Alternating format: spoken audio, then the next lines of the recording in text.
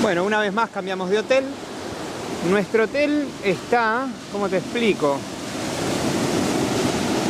¿Dónde está? Por ahí, justo ahí en la playa.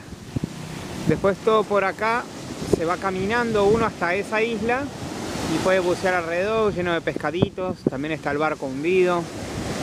Ahora vinimos a comprar una cervecita a un almacén y decidimos parar bajo la palmera